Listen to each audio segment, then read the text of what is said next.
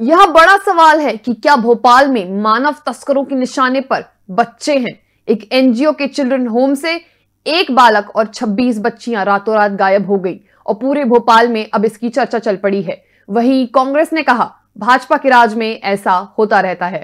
ताज़ा मामला मध्य प्रदेश की राजधानी भोपाल से सामने आया है, जहाँ एक एनजीओ के हॉस्टल से एक बालक और 26 बच्चियाँ गायब हो गई। फिर भी पुलिस हाथ पर हाथ धरे बैठी हुई है। बच्चों के गायब होते ही परवलिया पुलिस ने हॉस्टल संचालक और पदाधिकारियों के खिलाफ एफआईआर दर्ज कर ली है। वहीं राष्ट्रीय बालक आयोग ने संज्ञान लेते हुए मुख्य सचिव वीरा राणा से सात दिन में जाँच रिपोर्ट मांगी है। बच्चों के गायब होने के बाद कांग्रेस के निशाने पर बीजेपी सरकार है। पूर्व मंत्री सज्जन सिंह वर्मा ने बीजेपी पर निशाना साधते हुए कहा कि भारतीय जनता पार्टी की सरकार में ऐसा ही होता है। अवैध बाल संरक्षण आश्रम संचालित कर दिए जाते हैं।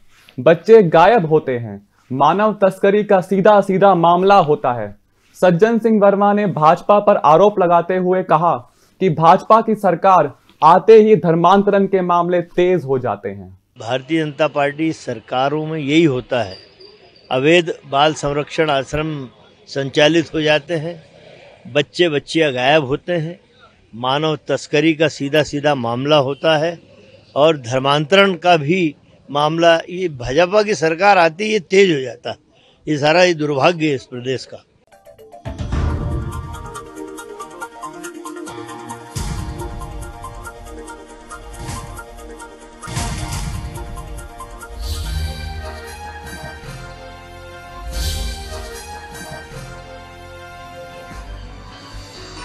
आप देख रहे हैं दखल न्यूज़।